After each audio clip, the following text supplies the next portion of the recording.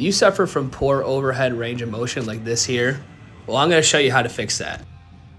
First start with just firing up the upper back and trying to actively pull yourself into overhead range of motion.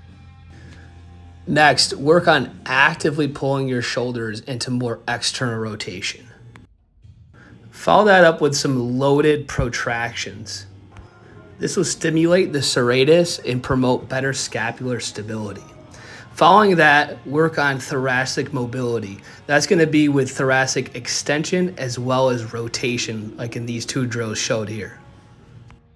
Limited thoracic mobility will always steal overhead range of motion. To finish this up, you want to perform overhead reach drills that, were, that will promote better upward rotation of the scaps